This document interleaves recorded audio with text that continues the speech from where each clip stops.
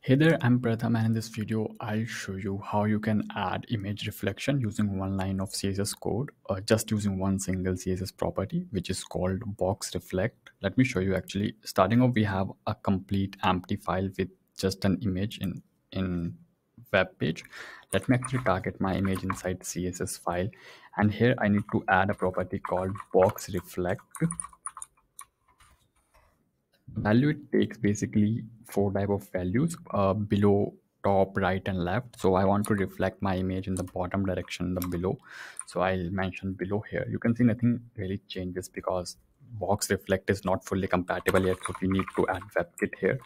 This kind of a stuff always fun to play around with it but i will not recommend you to use this in production so things might get break for you. Okay. It is get reflected in the bottom direction but actually it's not look like a reflection because it's a solid reflection. So what i can do here i can add a linear gradient as well which will fade out a reflection. So i want to fade it out in the bottom direction. So it should fade out in such a manner that it looks transparent to above and when it goes down it fades out. So something like this to bottom and black. This actually it takes three value.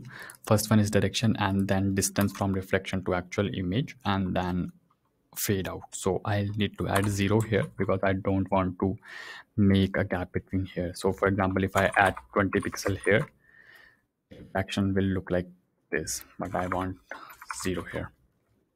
So yeah that's pretty much it. Thank you